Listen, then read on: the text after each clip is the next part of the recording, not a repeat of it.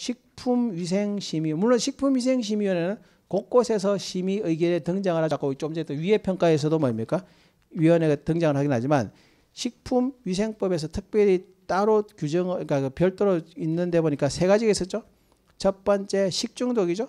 식중독 방지에 관한 사안.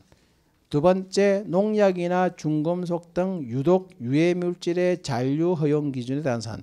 세 번째 기준 및 규격이죠. 식품 그러니까 결정은 누가 하지만 기준 규격의 결정은 식약처장이 하지만 위원회의 심의 의결을 받죠.